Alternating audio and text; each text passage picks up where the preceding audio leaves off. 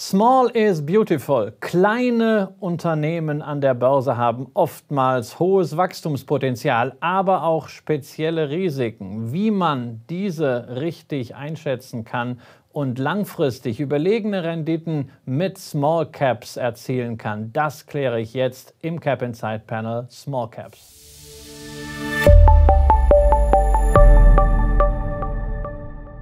Moin aus Hamburg und herzlich willkommen zu einem neuen Cap Inside Panel. Mein Name ist Christian Veröhl und wir reden heute ein bisschen im Geiste von Peter Lynch, der legendäre Manager des Magellan-Fonds hat uns ja eine ganze Reihe von Investmentweisheiten auf den Weg gegeben.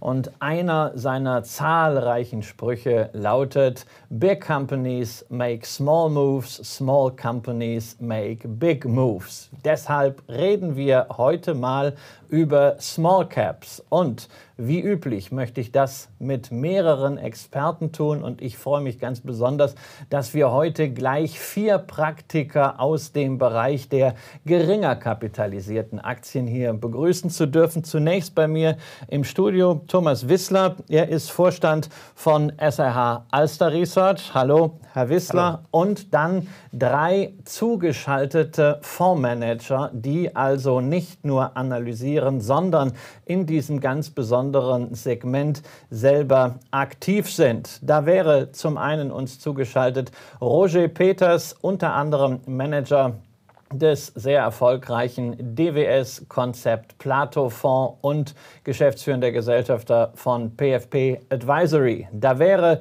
dann Lukas Spang, geschäftsführender Gesellschafter von Tigris Capital und da wäre Katharina Ratz, Fondsmanagerin bei Bärenberg. Und Frau Ratz, an Sie doch gleich mal die erste Frage. Sie haben sowohl einen deutschen als auch einen europäischen Fonds in der Verwaltung. Und zwar steht da jeweils Small Micro Cap mal zur Einführung für unsere Zuschauerinnen und Zuschauer. Wie grenzen wir das denn eigentlich ab? Wie ist denn so ein Small Cap definiert jetzt in Relation zu den großen Firmen, den Large Caps und den mittelgroßen, den Mid Caps und dann den ganz, ganz kleinen, den Micro Caps? Wie kann man dieses Segment mal so ein bisschen definieren und fassbar machen? Hallo Herr Röhl, hallo in die Runde aus Frankfurt. Äh, ich freue mich hier sein zu dürfen. Ähm, zu Ihrer Frage, wie definiert man äh, die Small- oder Microcaps? Die definiert man anhand der Marktkapitalisierung, also des aktuellen ja, äh, Eigenkapitalwertes äh, der Unternehmen, die äh, an der Börse gelistet sind. Eine gängige Marktdefinition ist eigentlich die, dass man die Marktkapitalisierung bis eine Milliarde Euro als Microcap ähm, definiert und äh, von einer Milliarde Euro bis fünf Milliarden Euro die Small Caps vorfindet. Das heißt, wenn man das Ganze mal auf den deutschen Markt definiert, äh, mit dem ja sicher auch einige Anleger besser vertraut sind als vielleicht auf europäischer oder internationaler Ebene, wäre das äh, dann der S-DAX. Ähm, also die sehr kleinen Unternehmen äh, befinden sich im S-DAX und dagegen die Large Caps, das sind dann die Standardwerte, die im DAX vorzufinden sind. Ja, jetzt haben wir ja eine äh, ähm, Definition aus dem angloamerikanischen Bereich, alleine schon äh, äh, Small Cap. Ja. In Deutschland argumentieren wir ja manchmal auch so DAX, MDAX, SDAX, erste, zweite, dritte Börsenliga und dann gibt es noch was darunter. Da muss ich natürlich rüberflanken an einen Fußballfan, der sich äh, speziell mit deutschen Aktien beschäftigt, nämlich äh, Roger Peters. Ähm, da ist ja dann im deutschen Markt, wenn man sich die Kapitalisierung anschaut, eigentlich fast alles Small oder Micro oder? Ja, das ist äh, deutlich äh, so.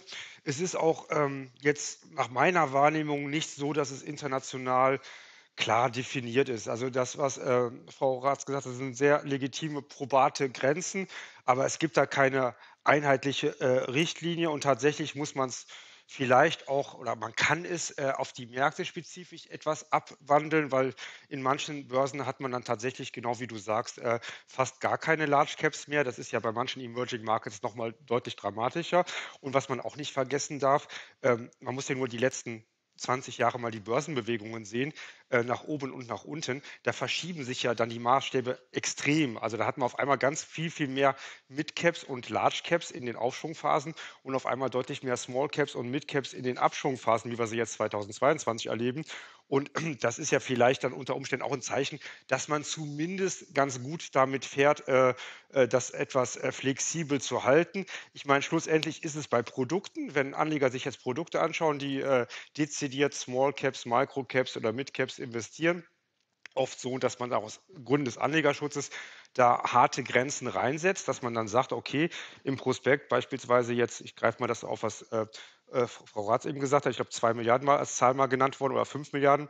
Nee, eins und fünf haben Sie gesagt, Entschuldigung, ähm, dass man dann sagen kann, okay, genau in diesem Bereich spielt sich das Anlageuniversum ab. Aber ähm, ich glaube, wenn ein Anleger selber für sich einfach mal schaut, äh, was er ähm, äh, beobachten will, dann ist es vielleicht gut, das nicht zu genau zu betrachten. Und die zentrale Frage war ja auch Deutschland jetzt nochmal.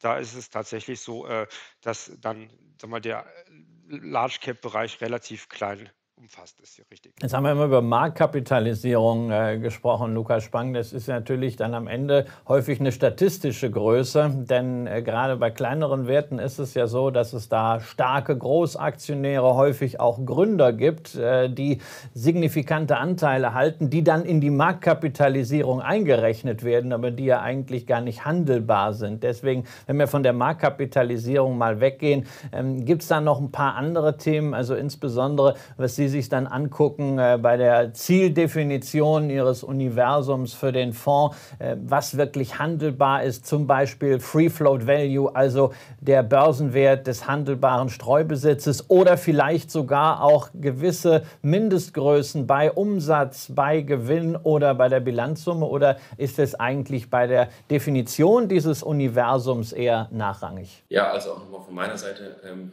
schönen guten Tag in die Runde.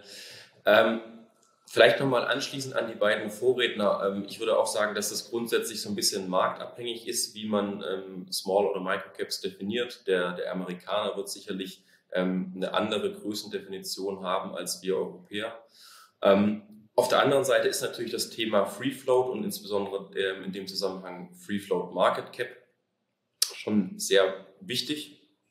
Gerade natürlich auch für größere Investoren, die sich in dem Marktsegment tummeln ähm, weil natürlich, äh, du hast es angesprochen, ähm, es einen großen Unterschied gibt, ob jetzt beispielsweise ein Gründer noch 60 Prozent hält und dementsprechend vielleicht nur 40 Prozent im Free Float gehalten werden, als wenn jetzt der, der Wert einer Firma mit einer Milliarde zu 100 Prozent im Free Float gehalten wird.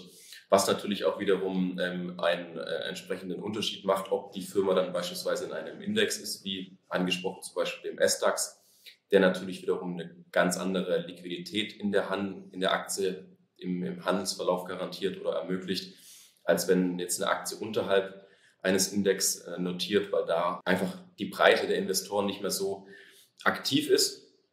Und ähm, dementsprechend ist natürlich die, die Handelbarkeit der Aktie sehr, sehr wichtig. Ähm, vor allem auch, ähm, dass zum Beispiel ein Xetra-Handel ermöglicht ist, dass wirklich auch eine gewisse Tagesliquidität vorhanden ist. Hier gibt es auch immer wieder äh, Aktien aus dem Small- oder Micro-Cap-Bereich, die kein Cetra-Handel zum Beispiel haben, die letztlich dann nur an Regionalbörsen gehandelt werden, was einfach den Handel nochmal zusätzlich erschwert. Und ähm, dementsprechend rate ich zum Beispiel auch Firmen immer, die noch keinen Xetra-Handel haben, hier doch ähm, einen Xetra-Handel einzuführen, um einfach eine höhere Liquidität zu haben, was einfach auch für, für Fondsmanager oder Fondsberater ähm, besser ist, um letztlich ähm, dann die, die Handelbarkeit zu gewähren und letztlich dann auch natürlich überhaupt in die Aktie investieren zu können. So, jetzt haben wir mal so ein bisschen hier so äh, die Claims abgesteckt. Ja? Also wir reden bezogen auf Deutschland, also S-DAX und darunter, aber nicht zu klein und auch nicht zu illiquide, regelmäßige Börsenumsätze in ausreichender Stückzahl wollen wir schon sehen. Ähm, Herr Wissler, jetzt gucken wir mal ein bisschen äh, auf die analytische Perspektive, ähm, dass uns äh, Fondsmanagerinnen und Fondsmanager erklären können, warum Small Caps ganz großartig sind. Äh, das äh, setzen wir mal voraus und da werden wir gleich auch mal nachhaken. Aber ich würde gern den ersten Aufschlag dazu mal mit Ihnen machen. Ähm, was macht denn diese Small Caps in dieser durchaus äh, nicht ganz klaren, etwas schwammigen Definition für Anleger wirklich interessant, wenn man jetzt mal von dem eingangs zitierten Peter Lynch Zitat und diesen Buzzwords mal weggeht und das versucht etwas zu konkretisieren? Ja, ja, vielen Dank erstmal auch, dass ich hier die Runde nutzen darf, über Small und Mid Caps zu reden. Ähm, vielleicht nur noch ein, ein Punkt äh, zu dem, was die Vorredner gerade gesagt haben, vielleicht mal mit einem plastischen Beispiel. Ähm, das nochmal zu untermauern, wenn man sich mal den Wüstenrot nimmt mit 1,6 Milliarden Market Cap ungefähr, ich habe die jetzt nicht direkt im Kopf, würde man jetzt vielleicht nicht mehr als Small Cap bezeichnen, aber wenn man sieht, was Herr Spang sagt, wenn die Anteile äh, doch in festen Händen liegen, dann, ähm, dann ist es einfach so, dass diese Aktie nicht mehr sehr, handel, sehr stark handelbar ist und eventuell auch nicht mehr so im Fokus der Investoren ist, also ein klassischer Nebenwert ist, was ja die Bezeichnung von Small und Mid Caps eigentlich ist. Aber nicht im Fokus von Investoren ist ja zunächst mal etwas, wo ein unbedarfter Investor sagt, oh nee, also wenn es nicht im Fokus ist, warum soll ich es dann in den Fokus nehmen? Genau, und da kommen wir jetzt zu der Frage, äh, die Sie gerade gestellt hatten, was macht eigentlich Small und Mid Caps eigentlich so spannend? Ähm, das ist genau der Punkt. Äh, die Aktien sind nicht im Fokus von Investoren, ähm, heißt aber im Umkehrschluss, dass dort häufig ähm, sehr viel Potenzial liegt für Investoren, die sich die Mühe machen, dort wirklich mal hinzugucken, wo keiner hinschaut. Ähm, denn in der Regel sind dort sehr spannende Unternehmen. Ähm, wenn wir sagen Small Mid Caps, äh, das sind immer gute Unternehmen, das würde ich vielleicht ein bisschen mit einem Fragezeichen hinter, hinterlegen. Ich glaube, die Qualität bei Small Mid Caps, die variiert schon sehr stark. Also es gibt wirklich von relativ schlechten Unternehmen äh, bis hin zu den klassischen Hidden Champions, von denen wir alle sprechen, also der Mittelstand, der weltweit in einer Nische sehr stark ähm, führend ist, findet man eigentlich alles. Und das Schöne an diesen Märkten sind einfach, a, es ist halt noch unterbewertet. Ähm, der Markt reagiert nicht so schnell auf Informationen. Das heißt, wenn man die Mühe macht, dorthin zu schauen, kann man auch dieses äh, ähm, viel, viel besagte Alpha rauskitzeln. Äh, ähm, aber das andere ist auch, diese Unternehmen sind gegenüber der Large Cap äh, Konkurrenz vielleicht auch äh, wachstumsstärker. Sie sind kleiner, die haben noch im Lebenszyklus vielleicht viel mehr Chancen auch zu wachsen. Das sind zwei Themen, die machen es sehr spannend. Und vielleicht, wenn ich den letzten Punkt noch nennen dürfte, ähm, häufig hat man in diesem Bereich auch noch ähm, das Management äh, oder Altaktionäre, die einen großen Anteil halten, die natürlich langfristig denken, nicht von Quartal zu Quartal. Das macht es aus meiner Sicht auch nochmal sehr spannend, weil man hat äh, Leute in der Führungsebene, mit denen man einfach eine äh, gleichgerichtete Interessensgemeinschaft bilden kann.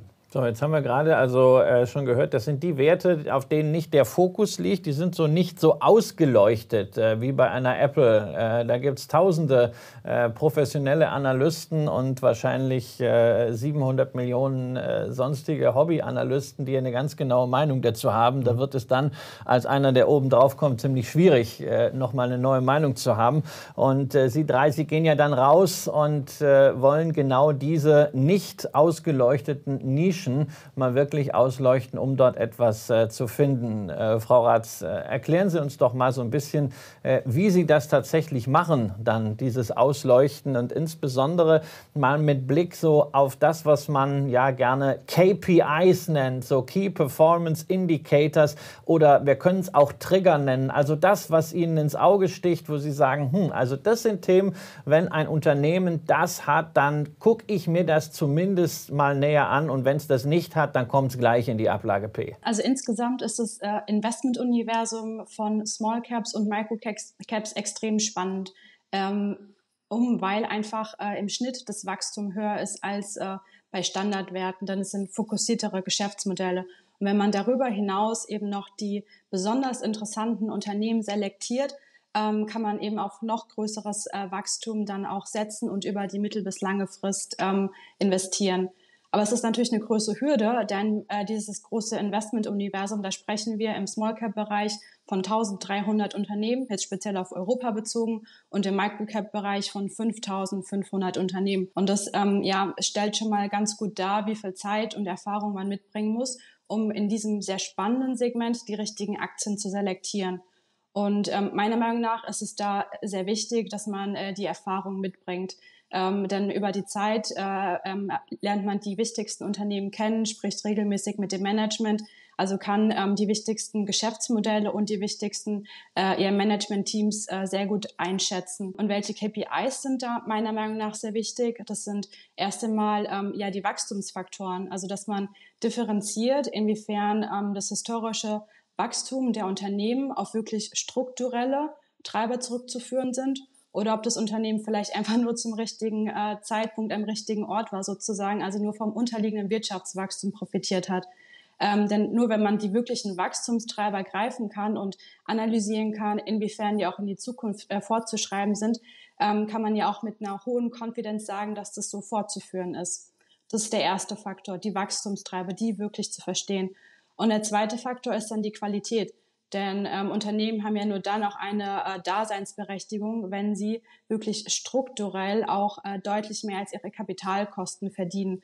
Und ähm, ja, der, der hierfür wichtigste KPI ist meiner Meinung nach ähm, die, die Kapitalrendite, was einfach zeigt, äh, welche Rendite kann das Unternehmen auf ihr eingesetztes Kapital verdienen und wie vergleicht sich die dann mit den Kapitalkosten. So, da haben wir also Kapitalkosten. Das ist ja auch zumindest etwas für Anleger, die jetzt sagen, naja, also ich möchte das vielleicht auch mal selber mich ein bisschen äh, daran versuchen, mal zumindest Unternehmen zu screenen. Das ist ja etwas, was man mit äh, Softwaremethoden dann schon mal machen kann. Da haben wir einen ersten Punkt, auf den man äh, achten kann, weil also 5000 äh, Unternehmen einfach so durchzuscreenen, äh, das wird niemandem gelingen, wenn man es qualitativ macht, sondern das ist dann wirklich Erfahrung, auch Erfahrung von Teams, weshalb ja äh, viele äh, Fonds eben doch auch ein entsprechendes äh, Team haben. Äh, Roger Peters, gibt es bei euch da weitere von diesen KPIs, wo ihr schon in der ersten Phase sagt, da gucken wir drauf? Also vielleicht noch vorausgeschaut, äh, wir sind ja keine reinen Small Cap Investoren. Äh, wir decken den kompletten deutschen Markt ab,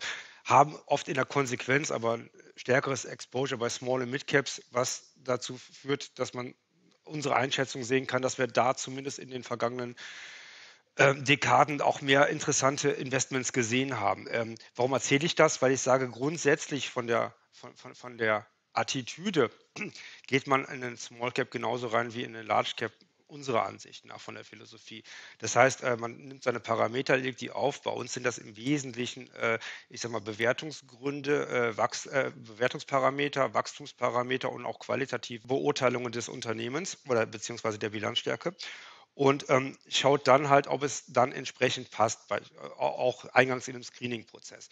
Was dann halt in einem Small Cap nochmal dezidiert anders ist, das sind, da kann ich äh, anhaken, einige Punkte, die der Herr Wissler auch gesagt hat, ähm, weil da tatsächlich manche Unterschiede sind äh, zu einem DAX-Konzern. Es geht mit der Anlegerstruktur los. Es ist oft familiendominiert, was dann dazu führt, dass man diese Interessenskongruenz hat, die auch hat. Es ist stärker von einzelnen handelnden Personen äh, reflektiert. Das heißt, äh, es spielt eine größere Rolle, wer diese Personen sind und was sie machen. Wenn da jetzt jemand ist, der 30 Prozent des Aktienkapitals hält und zudem noch seit 20 Jahren im Vorstandssessel sitzt, dann ist man ja auch deutlich abhängiger als jetzt von einem äh, breiten äh, Management Board, was halt alles am Ende Angestellte sind. Und ähm, genauso ist es auch ähm, in der äh, Hinsicht der Geschäftsmodelle, die sind wesentlich häufiger eindimensionaler. Also man hat nicht oft diese Mischkonzerne, die etwas breiter aufgestellt sind. Das heißt, man muss sich mit den Märkten etwas dezidierter beschäftigen oder man hat eine größere Abhängigkeit von einzelnen Märkten und Einzelfaktoren.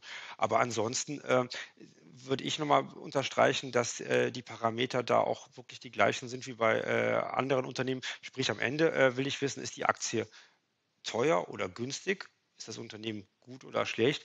Und wäge das dann gegen andere Investments ab. Wenn ich da mal. Da haben wir ja irgendwie. Ja. Danke. Ähm, genau, sich genau ähnlich. Also auf der fundamentalen Unternehmensanalyse-Seite sind die Faktoren die gleichen. Aber nichtsdestotrotz äh, muss man mehr Augenmerk auf das Management äh, legen. Warum? Äh, weil ähm, das Unternehmen vielleicht noch nicht äh, äh, die Historie hat, ähm, wie ein Large Cap Unternehmen. Das heißt, man ist mehr darauf ähm, angewiesen, äh, wie viel Vertrauen man auch dem Unternehmen schenkt, dass es gut aufgestellt ist, das Unternehmen auch in der Krise zu führen. Und der zweite Punkt, ähm, der auch anders ist, ist, dass ähm, ähm, ja, wir reden hier von sehr kleinen Unternehmen. Ähm, da, ist die, die Kapitalmarktkommunikation häufig noch nicht optimal, aber das lässt ja nicht unbedingt immer Rückschlüsse auf die Qualität des Unternehmens ähm, äh, äh, führen. Das heißt, da muss man auch ganz klar differenzieren. Ja, wenn ich da auch nochmal einhaken darf, also es unterstreicht eigentlich äh, nochmal so sehr, warum dieser Bereich Small und Mid Cap eigentlich auch so schwierig zu greifen ist. Ähm, denn äh, wie Sie gerade auch schon gesagt haben, ähm, das Management spielt halt eine sehr große Rolle. Das sind halt einfach auch ähm, Kennzahlen, die man eben auch nicht über ein Spreadsheet ähm, einfach mal äh, filtern kann und sagen kann, das sind jetzt gute Unternehmen. Das heißt, man muss sich dort auch schon aktiv mit diesen Unternehmen auseinandersetzen. Man muss idealerweise mich äh, mit dem Unternehmen oder mit dem Management mal zusammensetzen, Roundtable äh, oder auch mal vor Ort sein und sich die Produktionsstätten anschauen. Ähm, das ist meiner Meinung nach ein ganz großer Punkt und ein wichtiger Punkt. Und ein letzter Punkt, da ich ja der Vertreter der, der Aktienanalyse hier bin in der Runde, ähm, was es natürlich auch sehr schwierig macht, ähm, jetzt ähm, KPIs zu screenen, liegt einfach daran, dass äh, die Small Mid Caps in der Regel auch untergecovert sind. Also häufig hat man ja gar keine Coverage oder ein oder zwei. Äh, und das vergleicht man jetzt mit einer BASF, die, die vielleicht von 40 oder 50 Analysten äh, gecovert sind, wo man einfach nur auf den Konsens schauen muss und schaut, sind die IPS-Zahlen ähm, einen Cent höher oder niedriger. Genau, also man muss, man muss mehr reingehen. Ähm, Lukas Spang, ähm, würdet ihr sagen, man äh, hat eigentlich so ein bisschen mehr so die Rolle eines äh, ja, Psychoanalytikers mit dabei, weil das Management so wichtig ist. Also der Michael Schumacher wurde ja mal gefragt, wie er das äh, gemacht hat, immer mit diesen, mit diesen Regenrennen. Und dann hat er äh, das Wort geprägt, Popometer. Ja, das wusste, glaube ich, keiner außer ihm, was das so wirklich bedeutet. Aber das war so, so ein ganz besonderes Feeling für die Situation und für das Unternehmen. Ähm, ist das ein Punkt, der, der wirklich hier viel, viel stärker ist ähm, als jetzt bei einem, bei einem Large-Cap-Thema oder kann man wirklich sehr, sehr viel quantifizieren? Ja, also ich würde schon sagen, dass ähm, gerade das Thema ähm, Menschenkenntnisse sehr wichtig ist im, im Small- und Micro-Cap-Bereich, da eben, wie gesagt, der Faktor Mensch ähm, hier bei, bei den Unternehmen sehr wichtig ist. Das heißt, ähm, man muss einfach auch ein Gefühl dafür entwickeln, ist das, was der auf der anderen Seite des Tisches oder auf der anderen Seite des des Bildschirmes. Wir haben ja in den letzten zweieinhalb Jahren sehr viel auf virtueller Basis miteinander gesprochen. Ähm, Glaube ich dass demjenigen oder derjenigen, ähm, ist das, macht das Sinn, was derjenige oder diejenige erzählt? Man muss natürlich auch, je nachdem, wie lange der oder diejenige schon im Amt ist, so ein bisschen schauen, ähm, Track Record des Vorstandes, ähm, die Aussagen der Vergangenheit validieren. Ähm, konnte er seine Prognosen beispielsweise einhalten? Ähm, hat es gestimmt, was der oder diejenige gesagt hat? Um letztlich dann auch natürlich neben den vielen ähm, Zahlen, die man sich anschaut, die man analysiert, ähm, wo man Analysen aufstellt, ähm, letztlich den, den wichtigen Faktor, nämlich ähm, den qualitativen Faktor Management mit reinfließen zu lassen. Denn am Ende kann man ja sehr viel analysiert haben und sagen oder zu dem Schluss kommen, die, das Unternehmen, die Aktie ist unterbewertet. Wenn aber das Management auf Basis dessen letztlich die gesamte Analyse basiert, nicht diesen, ähm, diesen Track auch oder diese Ziele auch erreicht, dann ist natürlich das ganze, die ganze Analyse dahin. Und ähm, letztlich äh, ist das vielfach auch ein Faktor, warum zum Beispiel Aktien sich nicht nachhaltig positiv entwickeln können, weil letztlich das Management nicht ähm, die Qualität aufweist, um auch beispielsweise mehrjährige Prognosen dann auch einzuhalten. Und wenn wir auch nochmal auf das Familienthema äh, eingehen kurz, dann ist es natürlich auch immer so, die Frage, wie ist der Aufsichtsrat besetzt? Sind das mehr oder weniger Friends and Family vom Vorstand und vom Großaktionär? Oder wie, wie ernsthaft ähm, ist hier letztlich auch der Aufsichtsrat aufgestellt, um letztlich dann sich auch kritisch mit dem Geschäft und ähm, mit den Zahlen auseinanderzusetzen, damit letztlich auch das Management bzw. der Vorstand hier so ein bisschen, sagen wir mal, gefordert ist, um letztlich dann wirklich auch die, die Zahlen einzuhalten, ähm, eine gute Geschäftsentwicklung ähm, auch ähm, nachzuweisen, aufzuweisen, um damit letztlich dann auch eine attraktive Aktie ähm, für uns Investoren zu bieten. Also wir haben jetzt gesehen, es gibt eine ganze Reihe äh, von äh, qualitativen Faktoren, die man irgendwie durchleuchten muss. Es ist eben nicht nur das Excel-Sheet, damit ist es natürlich eine interessante Spielwiese für das aktive Management, das ja äh, bisweilen gerne in Zweifel gezogen wird, ob es denn überhaupt äh, Sinn macht. Ja, und bei einer vielleicht überrecherchierten Apple oder Microsoft kann man darüber streiten, aber wenn sich niemand um solche Aktien mehr kümmert, weil ja auch gerade die großen Banken Analysen Analysekapazitäten heruntergefahren oder komplett geschlossen haben, wovon Sie ja wiederum äh, profitieren mit Ihren Dienstleistungen, ähm, dann ist das natürlich schon eine interessante Nische. Nichtsdestotrotz gibt es natürlich auch für Small Caps Indizes. Und äh, wenn wir mal über das Segment allgemein sprechen, dann guckt man natürlich nicht erst jetzt auf Ihre drei Fonds. Das kann man auf der Plattform sehr gut machen. Da kann man sich sehr, sehr gut davon überzeugen, was hier auch für Renditen möglich sind. Aber wenn ich jetzt einfach mal auf die Indizes schaue,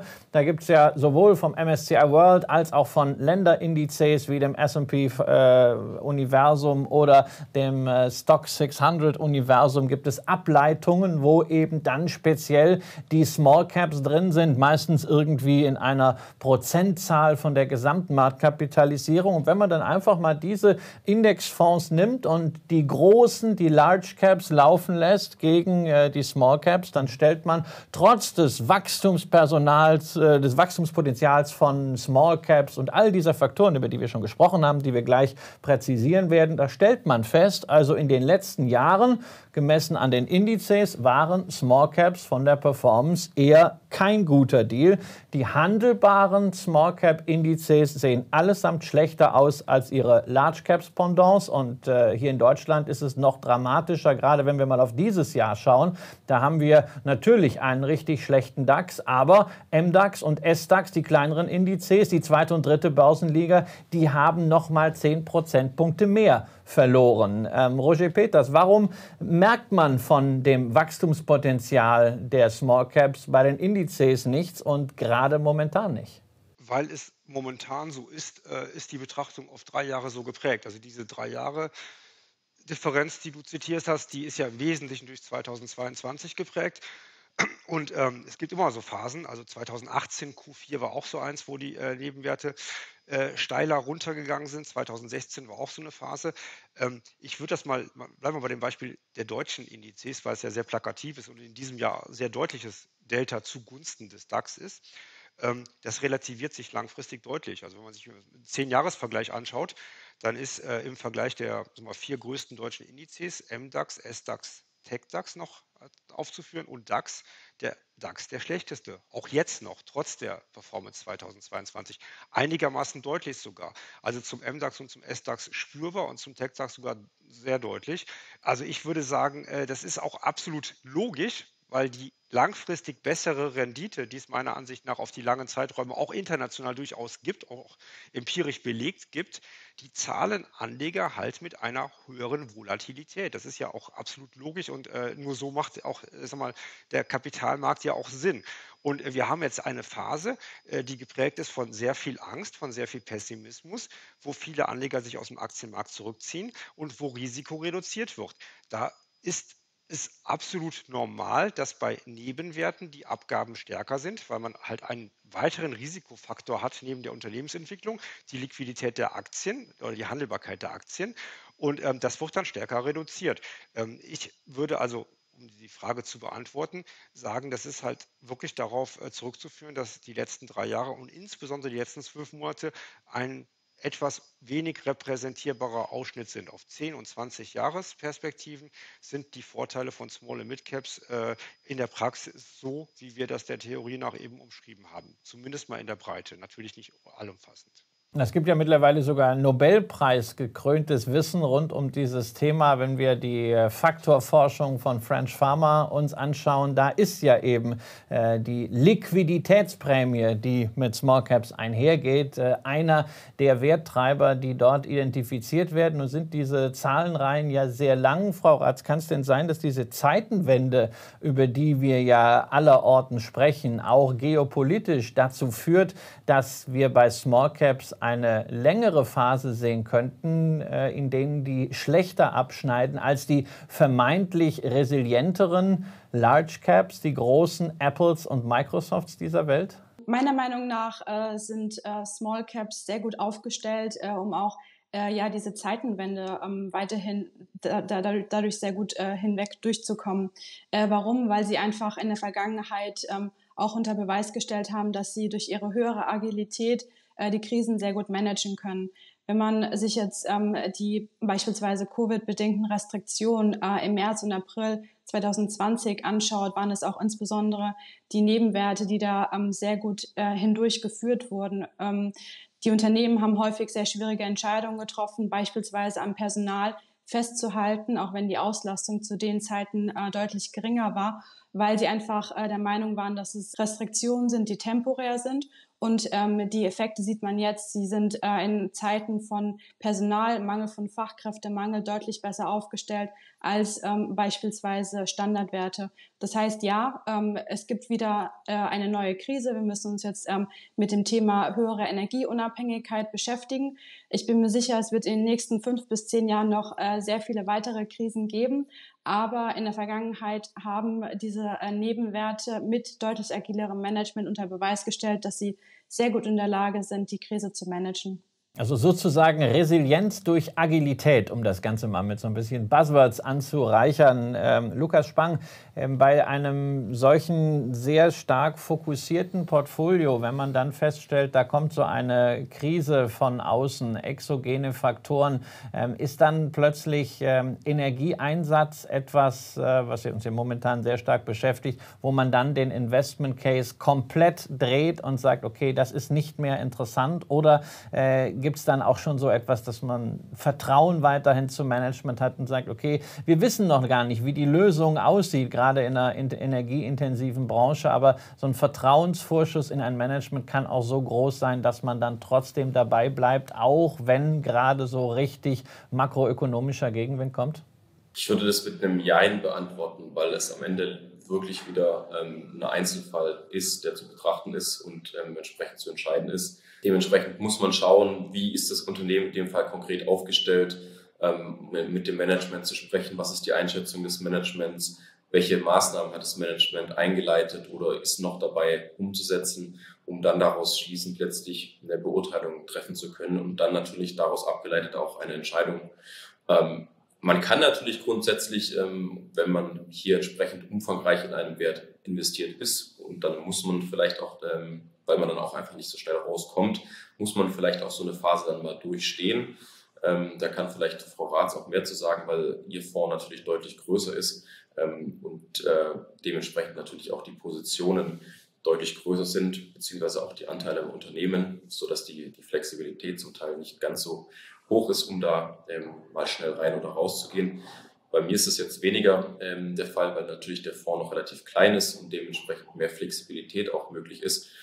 Aber ähm, ich würde sagen, äh, kurz und knackig am Ende, äh, das ist letztlich immer eine Einzelfallentscheidung. Auf die Frage an Frau Ratz kommen wir gleich nochmal zurück. Ich möchte vorher noch mal eine Frage an Sie richten, weil in Ihren Studien ja dann auch am Ende irgendwelche Projektionen sind. Sie müssen ja dann auch doch die ganzen qualitativen Faktoren irgendwie eindampfen. Da will man ja sehen, okay, was ist denn jetzt so für die nächsten Jahre zu erwarten? Wie kann so eine G&V, wie kann so eine Cashflow-Rechnung dann aussehen? Ähm, wie machen Sie das momentan mit diesen zahlreichen Inputfaktoren? Äh, Henning Gebhardt hat mir letztens gesagt, äh, fahren durch eine Nebelwand. Wie machen Sie diese Nebelwand gerade bei Unternehmen, die jetzt nicht äh, so viele Möglichkeiten haben, dass sie irgendwelche Studien ranziehen äh, über Verband der chemischen Industrie bei BASF, sondern wo sie wirklich tief rein müssen in das einzelne Geschäftsmodell. Wie kann man das da halbwegs plausibilisieren, dass man sagt, also auch in diesem Nebel gibt es dann quantitativen Kompass? Ja, das ist in der Tat eine sehr schwierige Frage. Ähm, also auch wir Analysten haben natürlich nicht die Kristallkugel, die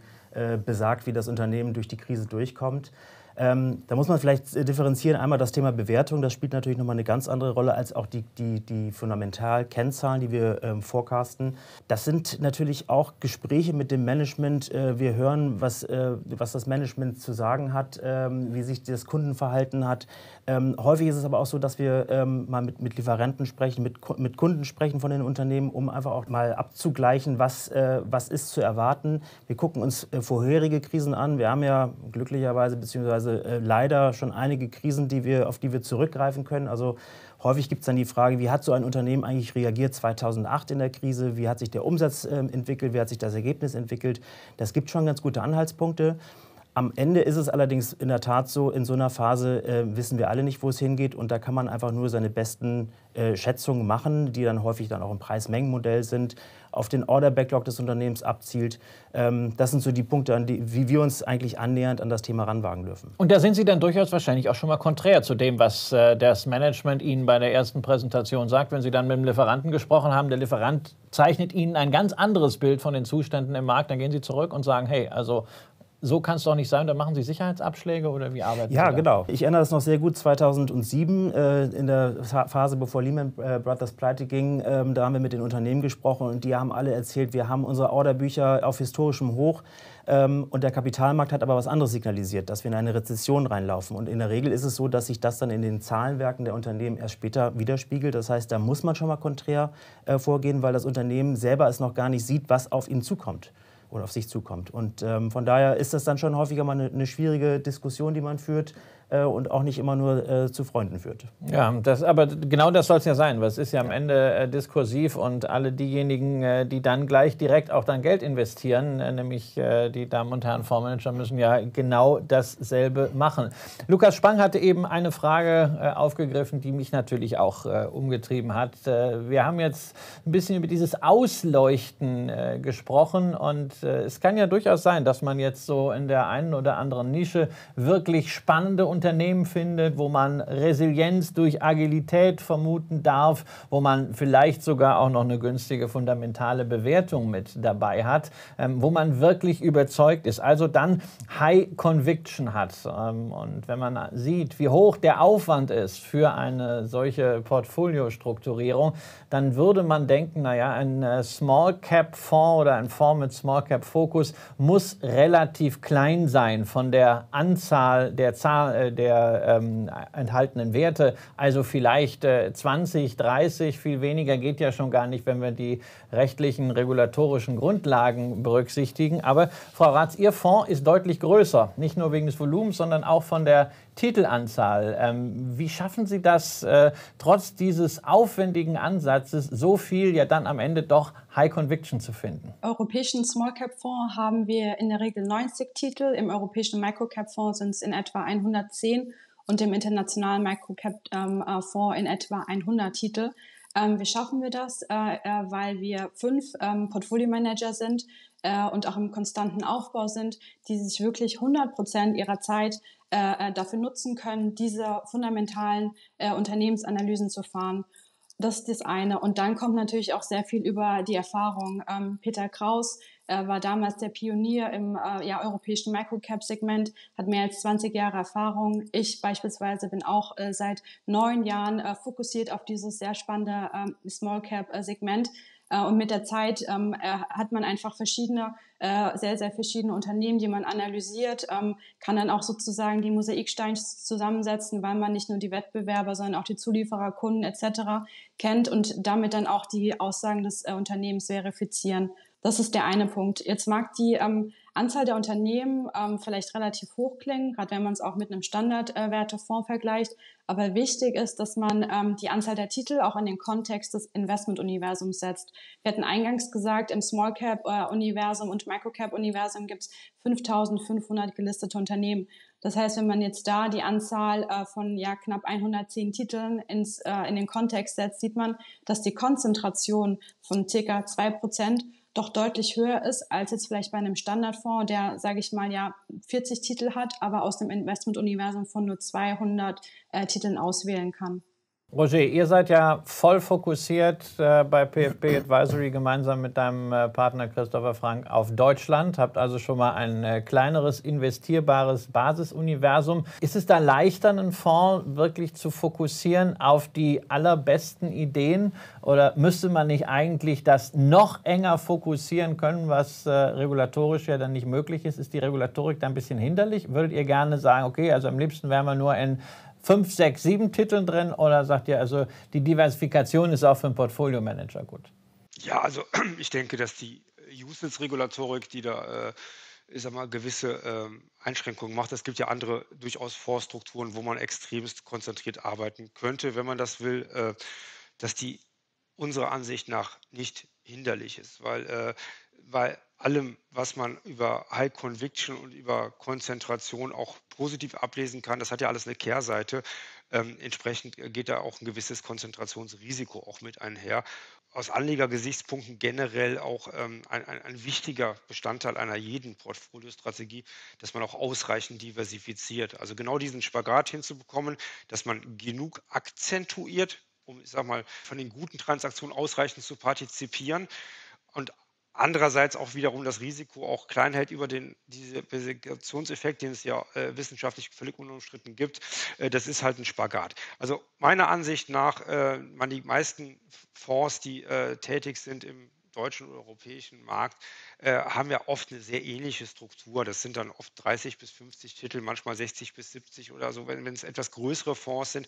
Aber ähm, das findet sich oft in einer, wie ich finde, durchaus logischen Grenze bei Portfoliogewichtungen von 3, 4 Prozent. Da hat man schon einen, wie ich finde, sehr, sehr vernünftigen Impact und auch noch ein handelbares Risiko.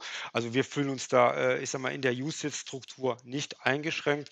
Und äh, ob man das in Deutschland anders handhaben würde als jetzt global oder europäisch, ähm, ich glaube nicht. Also ich meine, natürlich ist, hat man in Deutschland deutlich weniger äh, Titel als europaweit, äh, aber äh, am Ende ist, ist, es so, dass die Produkte dann wahrscheinlich äh, so, so, so, so einen Effizienzgrad haben, der dann doch sehr ähnlich ist. Also ich fühle mich sehr wohl mit den Strukturen, die der Gesetzgeber vorgibt.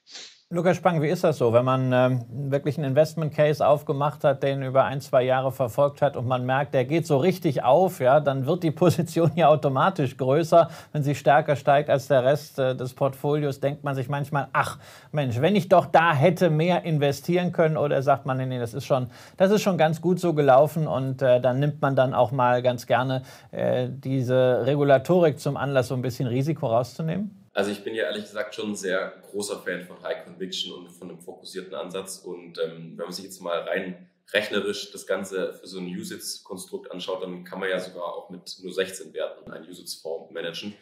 Und ähm, ich bin auch ein bisschen anderer Meinung als, als Frau Warz und äh, Roger, weil meines Erachtens ist gerade natürlich bei Small Caps das Attraktive und das, das, darauf willst du ja hinaus, wenn man eine Idee hat, möchte man ja auch und von der man besonders überzeugt ist, weil man sagt, da sieht man ein hohes Potenzial, dass man da möglichst auch entsprechend partizipieren möchte. Dementsprechend ist es zum Beispiel bei mir im Fonds so, dass auch wirklich die, die Grenzen da relativ ähm, doch ähm, gut auch ausgenutzt werden. Also gerade im, im USITS-Fonds oder im, klassischen Fonds, Publikumsfonds hat man ja zum einen die Grenze 10% nach oben und zum anderen die 15-40-Regelung. Das heißt also, alle Werte, die über 5% gewichtet sind, dürfen ja maximal 40% ausmachen.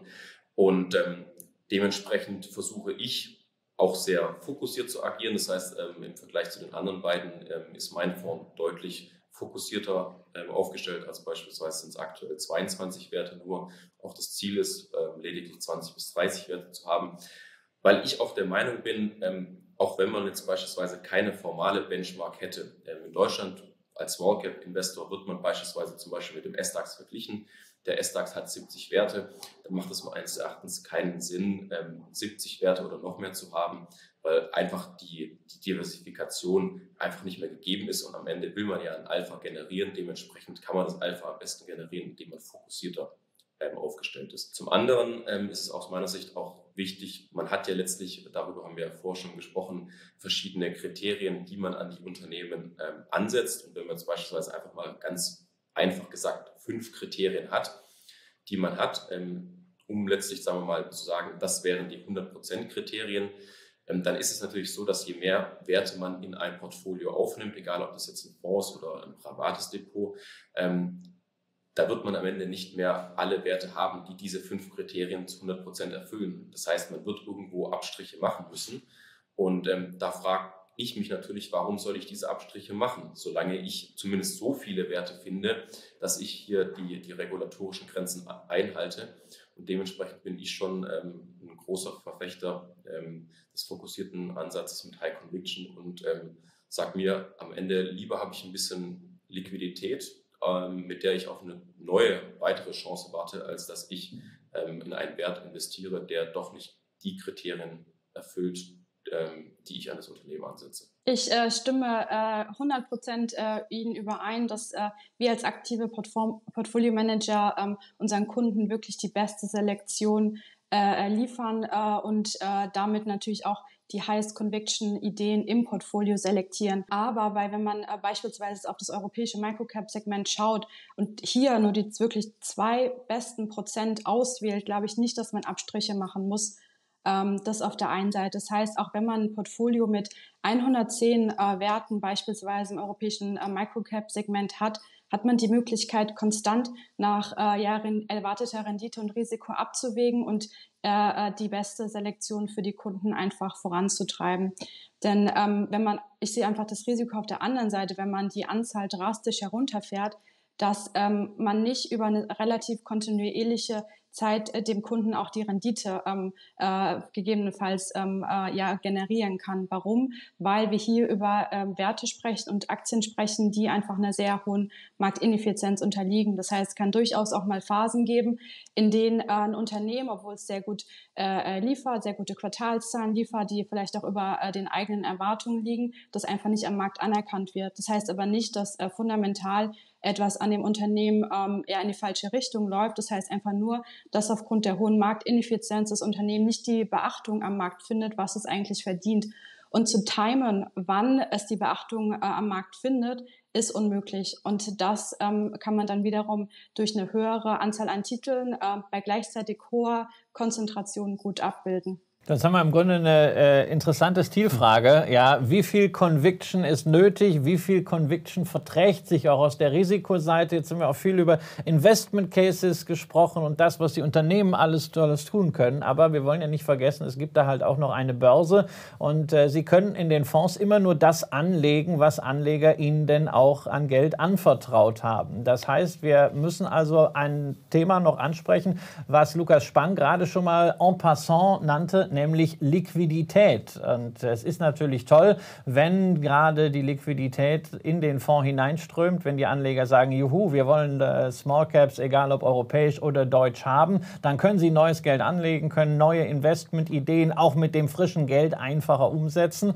Aber es geht natürlich auch in die andere Richtung, äh, nämlich dass sie äh, wie momentan vielleicht eher verängstigte Anleger haben, die dann auch irgendwann mal sagen, ach, dann nehmen wir doch mal ein bisschen Risiko raus. Roger Peters, du hast ja schon eine ganze Reihe von äh, Krisen miterlebt äh, am Markt und als Fondsmanager. Ähm, wie stark ist die Performance eines äh, gerade Small Cap lastigen Fonds getrieben auch von den Mittelflüssen, dass man nämlich dann, wenn es an der Börse gut läuft, viel Geld kriegt und investieren muss, obwohl man eigentlich vielleicht sagen würde, hm, naja, könnte jetzt auch ein bisschen Kasse halten, aber dafür zahlt ja keiner. Und dass, wenn man dann Gelegenheiten sehen würde am Markt, die Leute das Geld abziehen. Wie groß ist das Risiko, dass man von den Mittelabflüssen getrieben wird? Ja gut, also das, äh, ich sag mal, in offenen Usage-Struktur, äh, wo die Anleger die Möglichkeit haben, auch, was ja auch sehr gut aus Anlegersicht ist und viel, viel dankbarer als bei geschlossenen Produkten, äh, täglich halt zu investieren oder auch zu deinvestieren, äh, ist es natürlich so, dass das den, den, den jeweiligen äh, Verantwortlichen des Fonds etwas äh, unter die Bredouille bringen kann, dass er entsprechend dann auch getrieben ist von den Flows, wie du auch zu Recht gesagt hast. Ähm, ich habe jetzt als zweiten Teil ähm, äh, der Frage noch mitgenommen als Folge, ob es dann auch sag mal, Auswirkungen auf die Performance haben kann. Ähm, das hieße ja in der dritten, Ab also in der Ableitung, also man hat deutliche Abflüsse, muss selber ähm, sag mal, Teile aus seines Portfolios auch womöglich gegen, entgegen der Überzeugung verkaufen und beeinflusst dann die Kurse so wäre jetzt dann die äh, Schlussfolgerung und hat dann auch einen äh, Performance-Nachteil. Ähm, das ist schon einige hätte, wäre, wenn es und eigentlich sollte der Fonds auch vorher so aufgestellt sein, dass genau das nämlich nicht passiert.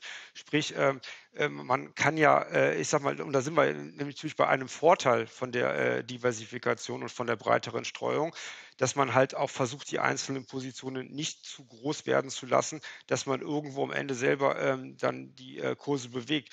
Du sprachst es an, wir, wir, wir sind ja, ich bin ja genauso wie du seit ähm, gut zwei Jahrzehnten hier tätig und ich muss sagen, ich habe dieses Problem tatsächlich in, auch in der Finanzkrise 2008 und 2009, geschweige denn in den jüngeren Jahren, selten am Markt gesehen.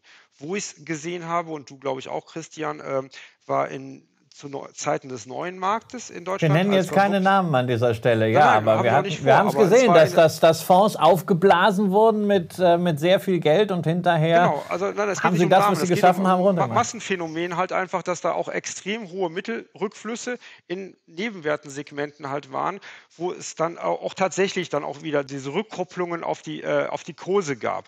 Ähm, aber da ist auch Voraussetzung, dass es A, extrem große Kapitalströme gibt und B, was dann auch damals oft der Fall war, dass ähm, die Fonds auch äh, signifikant, also mit 5, 10, 15 Prozent an den Unternehmen beteiligt waren. Und genau das verhindert eigentlich auch heutzutage fast jeder äh, Ansatz. Also da sind ja auch die, äh, die professionellen Anleger deutlich restriktiver, damit genau sowas nicht passieren kann und soll. Also ich sehe das Risiko, muss ich ganz ehrlich sagen, deutlich reduziert. Und wenn es dann tatsächlich so kommen sollte, also in dieser ganzen äh, Kausalkette wie eben skizziert, dann ist auch vorher handwerklich was falsch gemacht, weil im Prinzip darf man sich da nicht die Fallen bauen, die passieren können, wenn es extreme Rückflüsse gibt, weil das kann halt passieren. Was muss denn ein Anleger dann mitbringen, um einen solchen äh, Small Cap Fonds auch wirklich äh, zu nutzen und zu verstehen? Was muss er zusätzliches Wissen, was er vielleicht äh, nicht unbedingt schon in seinem Erfahrungsschatz hat, wenn er bislang sagen wir mal, MSCI World ETF oder DWS Top Dividende irgendein Large Cap Investment schwerpunktmäßig nur hatte, Frau Ratz? Er muss auf jeden Fall wissen, äh, dass die Volatilität in Phasen, in der wir ja seit Jahresbeginn waren, höher sein können. Ähm, heißt aber auch, ähm, dass er dafür mehr als überkompensiert wird auf der Rendite. Ähm, also heißt nicht nur die äh, ja, absolute äh, Rendite von Nebenwerten im Vergleich zu äh, äh, Standardwerten ist höher, sondern auch die risikoadjustierte Rendite ist höher. Das heißt, pro eingegangener ja, Volatilität wird er dafür übermäßig auch kompensiert. Und das zeigt einfach, wie attraktiv es ist, in diesem Segment positioniert zu sein, aber mittel- bis langfristig. Das heißt, ähm, äh, er muss äh, eine Investitionsdauer haben, die auf jeden Fall äh, ja, ähm, mittel- bis langfristiger Natur ist und dann äh, auch wirklich diese Phasen durchzustehen. Und es gibt nichts Schlimmeres, als ähm, ja, sehr euphorisch zu sein, wenn der Markt äh, insgesamt sehr gut läuft und dann sehr pessimistisch zu sein, wenn die Positionierung in den Fonds, äh, in den äh, ja, ähm, gemanagten Fonds, aber auch bei, bei den äh, Privatinvestoren sehr, sehr negativ wie, ist wie aktuell. Weil ähm, ja, mit so einer sehr zyklischen, sage ich mal, ähm, Bewegung wird man keinen mittel- bis langfristigen Vermögensaufbau generieren. Wichtig ist es da dann hindurchzuschauen äh, und solche Phasen äh, zu nutzen, um dann wieder einzusteigen. Denn äh, an den fundamentalen Treibern ähm, hat sich ja nichts geändert. Das heißt, äh, Unternehmen, äh, Nebenwerte sind weiterhin ähm, sehr, sehr gut aufgestellt. Ähm, die Wachstumstreiber sind intakt und äh, die allerbesten Selektierten können die Krise auch noch nutzen, ähm, um äh, ja einfach in der Zukunft äh, sich besser aufgestellt zu haben. Das heißt, diese fundamentalen Treiber, die für Small Caps sprechen, die sind weiterhin intakt. Das heißt, man sollte die Phase, in der sie sehr stark abverkauft werden und auch mehr als Large Caps abverkauft werden, ähm, ja, dadurch sich nicht beirren lassen, sondern ähm, mindestens äh, an der Position festhalten, wenn nicht sogar, wenn es möglich ist, die ähm, Situation auch nutzen, um aufzustocken. Ich glaube, das kann man ganz gut zusammenfassen. Ich glaube, ein Small Mid Cap Investor braucht halt ein gewisses Grad an Leidensfähigkeiten. Und man sagt ja nicht umsonst, ähm, äh, das ist Schmerzensgeld, was er bekommt. Erst kommen die Schmerzen, dann kommt das Geld. Äh, ich glaube, das ist das, was wir alle brauchen in der Small Mid Cap Welt. Denn diese Prozyklik ähm, kann man dann auch zu seinen Gunsten nutzen. Und ich stimme dem voll ähm, überein, dass dass man dann mittel- bis langfristig da eine Überrendite rausziehen kann. Ja, nun braucht es ja quasi ähm, auf Anlegersicht so ein bisschen dasselbe wenn man einen Small Cap Fonds hat, wie das, was der äh, Small Cap Manager mit Blick auf die Unternehmen mitbringen muss, nämlich äh, die Einschätzung äh, des Managers. Ist man, vertraut man dem und ist er dieser Herausforderung gewachsen? Dabei ist es natürlich dann auch hilfreich, wenn man ein bisschen mehr über das erfährt als Anleger, was denn so im Fonds drin ist, was denn so hinter den einzelnen Investment Cases steht, warum bestimmte Positionen ähm, da drin sind das heißt, wir wünschen uns als Investoren ja immer Transparenz. Äh, Sie haben ja auch gerade nochmal so bestimmte Markttreiber erklärt, Frau Ratz. Aber auf der anderen Seite, und das würde ich gerne nochmal zu Lukas Spang rüberflanken abschließend, äh, weil du ja auch in Social Media recht aktiv bist, ähm, ist es vielleicht nicht auch ein bisschen äh, hinderlich, wenn man allzu transparent ist, so nach dem Motto, ähm, wer sehr offen ist, ist nicht ganz dicht, weil man manche Investment Cases vielleicht erstmal in Ruhe aufbauen möchte, statt dann schon immer darüber zu reden, um seinen Investoren wieder irgendeinen Kampfer zu geben, dabei zu bleiben. Wie löst man diesen Zielkonflikt? Ja, also ich war ja in der Vergangenheit auf, auf Wikifolio aktiv und da ist natürlich ähm, das Portfolio komplett gläsern. Also da sieht man ja wirklich jede Transaktion sofort, wenn sie getätigt wurde. Dementsprechend habe ich vielleicht auch ein anderes Verständnis oder einen anderen Umgang mit Transparenz als jetzt andere äh, Fondsmanager, weil ich diese Transparenz einfach gewöhnt bin. Ich versuche natürlich auch jetzt, ähm, seitdem der Fonds aufgelegt ist, sehr transparent ähm, mit der Situation umzugehen, über die Positionen im Wert zu sprechen, zu erklären, warum ist eine Aktie oder ein Unternehmen interessant. Ähm, gibt ja auch so ein bisschen das Sprichwort äh, Talk about your position. Und ich glaube, dass Transparenz auf jeden Fall wichtig ist, dass sie aber auf keinen Fall hinderlich ist. Ähm, man kann ja letztlich zum Beispiel auch das so ein bisschen so timen, dass man sagt, wenn man eine Position aufbaut, dann spricht man noch nichts darüber, sondern wartet erstmal ab, bis man die Position aufgebaut hat, bis man letztlich die Stückzahl ähm, an Aktien erworben hat, die man haben möchte. Und dann geht man raus und sagt, wir haben jetzt eine neue Position aufgebaut. Und ähm, auf der anderen Seite macht, muss man das natürlich genauso machen. Wenn man eine Aktie verkauft, dann muss man sie natürlich zuerst verkaufen und danach spricht man drüber. Gleichzeitig gibt man aber dem Investor oder dem Interessierten natürlich auch einen Anreiz, in den Fonds zu investieren, weil wenn er nämlich in den Fonds investiert ist, dann ist er zuerst auf der Käuferseite und zuerst auf der Verkäuferseite und muss nicht letztlich hinterherlaufen. Und ähm, gleichzeitig wird er aber auch entsprechend informiert über die Positionen, was wird gemacht, warum ist ein Unternehmen eben interessant oder jetzt vielleicht auch nicht mehr interessant. Und ähm, wenn man, glaube ich, so mit dem Thema Transparenz umgeht, äh, dann hat man hier ein wirklich äh, gutes, äh, gutes Gleichgewicht. Ganz herzlichen Dank äh, an Sie vier. Unsere Stunde, äh, die wir uns immer so als Maximum gesetzt haben, ist schon wieder vorbei. Das Schöne ist, es geht für Sie, liebe Zuschauerinnen und Zuschauer, ja gleich weiter, weil die Transparenz, über die wir gesprochen haben, die ist eben nur einen Klick entfernt. Sie können die Fonds von Katharina Ratz, von Roger Peters und von Lukas Spang natürlich auf der Plattform Cap Insight verfolgen. Sie können dort hineinschauen, Sie können sie vergleichen, Sie können sie mit ETFs vergleichen und vor allem Sie können natürlich dann auch von dort weiter navigieren zu den Marktkommentaren der Fondsmanager, wo eben dann steht, was gerade die wichtigen Wert- und Performance-Treiber sind und was die Überlegungen des Fondsmanagements sind. Das ist hier im Small Cap-Bereich Bereich sicherlich noch viel, viel wichtiger. Dazu wollen wir natürlich auch darauf hinweisen, dass Sie einen tollen Research Hub äh, auf äh, dem Internet haben, wo sich Anleger Studien zu einzelnen Unternehmen auch genau. herunterladen können. Ganz genau. Und äh, das ist für diejenigen, die sagen, naja, also ich bin einfach mal interessiert worden für Small Caps, möchte da gern weitermachen, aber nicht unbedingt die Entscheidung an einen Fondsmanager und sei er noch so gut ist, delegieren, sicherlich auch eine Möglichkeit, hier weiterzumachen. Für heute ganz herzlichen Dank an meine vier Panelisten und natürlich an Sie, liebe Zuschauerinnen und Zuschauer. Machen Sie es gut. Bis bald hier auf Cap Insight.